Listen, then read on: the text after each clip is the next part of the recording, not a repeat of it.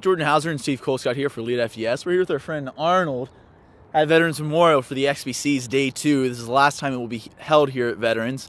And yesterday we had Dave Kirsch and Adam, Driggers compete. Also friends of the team, Al Caslow and Mick Manley had pretty good days.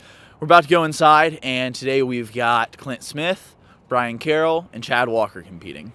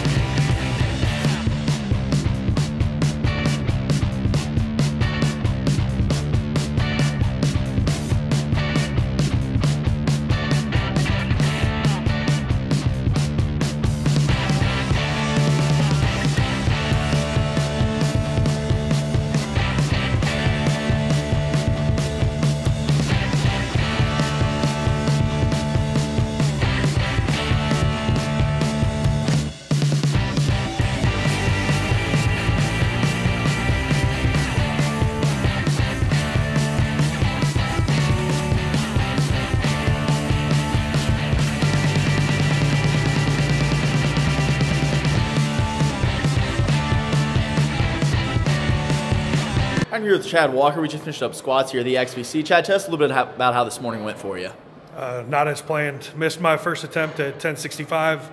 Uh, weight felt good on my back. I ended up uh, losing it at top, tipping backwards.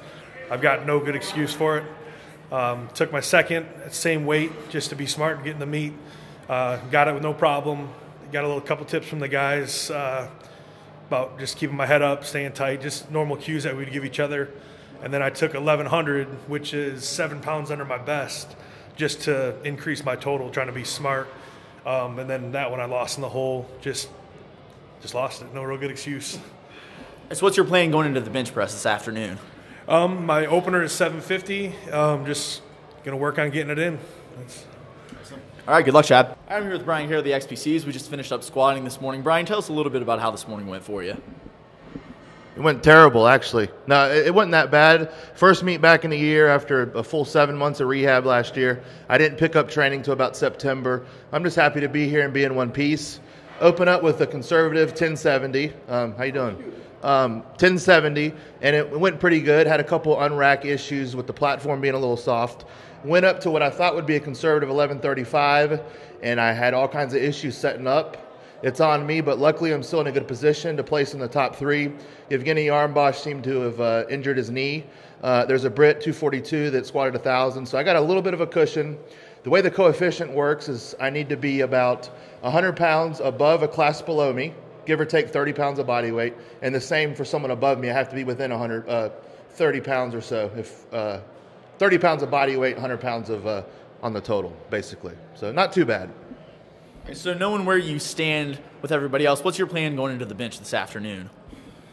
Well, as you see, there are some casualties on the squat with people. Like I got at yesterday, people will be opening up with ridiculous amounts of weight and they'd be going home early. And that's speaking from experience, not just saying.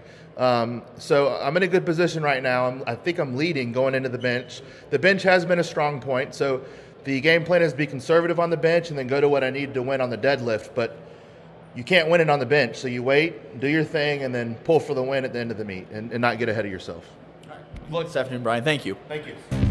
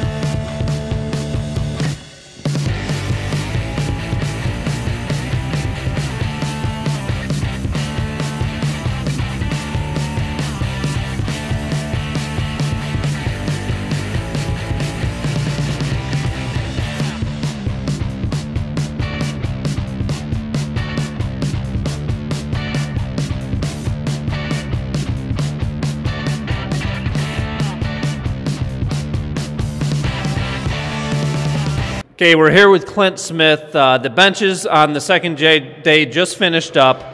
Was not a was not a great day for you, Clint. Tell us what happened. Hmm. I wish I could tell you what happened. It was just one of those days. Um, the I had a really hard time touching my chest in the shirt today. Had a great training cycle. Touched half boards multiple times and just uh, wasn't the same today. Sometimes that happens, you know. I mean, it's frustrating, but I can't beat myself up too bad about it, and you know, just take a break and get ready for another one. Okay.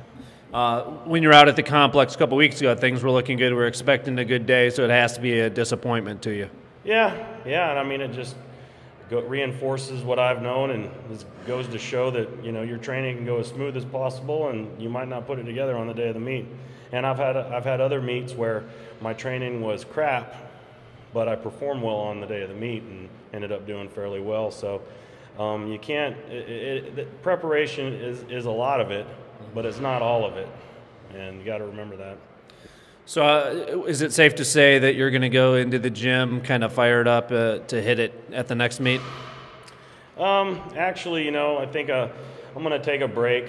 Um, you know, always training, um, but and then figure out what I want to do. But um, right now, I kind of got a bad taste in my mouth for multiply, and I'm thinking I might, you know, do a single or a raw or something. We'll see. I mean, nothing's in stone, but um, I'm not sure. Okay. Thanks for talking to us. Okay, we had to come backstage to catch Chad. He had a legendary bench. It took you a couple times to get it, but uh, you popped up 750. It was a struggle. How'd that feel? Uh, it sucked. It was heavy. Uh, missed my first two.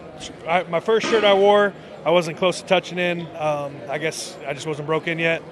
The second shirt I actually borrowed from Josh McMillan, who drove down from Michigan, so I never even wore that one before.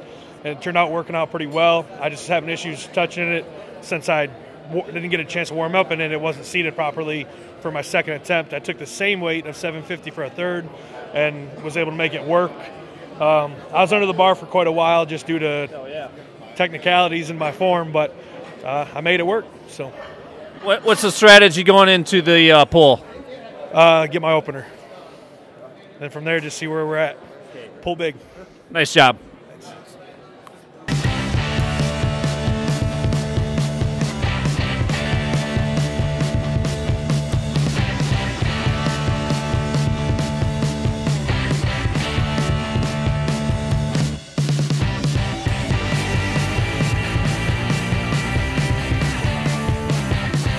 Okay, we want to do a little bit of a wrap up after the meet. First off, we want to talk to Brian about you. You chose to go with the token lift. Tell us what uh, brought that decision on.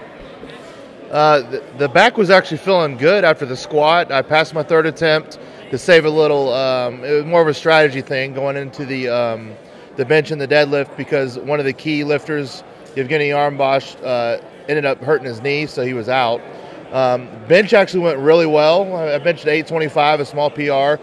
Passed my third again, strategy. Um, the issue was my back was a little locked up from the bench, and so instead of possibly re-injuring myself, I decided to pass. Um, I guess the uh, the disc is a little irritated, so some nerves flared up, but uh, it, it, hurt to. Uh, to try to even reach down for the bar, so I decided to go with the token. Even though the win for the overall was going to require a 700 deadlift, which is uh, 85% of my best pull ever. Um, so it, you know, hurts the ego a little bit, but you got to be smart as you get older. And so I, I took a token 145 and uh, wrapped it up and called it a day. Okay. And you'll live to fight another day. Dave, let's talk about the team in general. Uh, day one, we had some success. Day two, kind of off and on. I don't. I wouldn't say if it was really off and on. I'd say we had success on both days because there's always something to learn. As you said, you always live to fight. You know, another day. You know, me and Brian were discussing before you came over. You know, different strategies and options on how to avoid this type of thing from happening in the future. Same type of conversations are going to happen with Chad with the bench press, and Clint, and uh, who am I Adam forgetting? eventually. You know, possibly Adam. Yeah. You know, this this is more of a time to for when you're a lifter and you compete, you know, it's more of a time to regroup and think of what's next, you know, and start planning that direction instead of. I don't think anybody is ever content with what they do or what they didn't do. So, and that's it is funny when you came up when you did because that's exactly what we were talking about. Um, one thing I'd like to do before wrapping this up is bring Ria over here. Oh yeah, right here, right here, right here. Because what I'd like to do is to make sure, because I don't think we do this enough, that we thank you know the wives and the girlfriends of the sponsors that we do support, because you guys have to put up with these guys more than what we do, or they have to each other. And if it wasn't for you guys, they wouldn't be able to do what they do. So thank you, and Thank thank you. all the other girlfriends and wives of all of our sponsors. Thanks, everybody.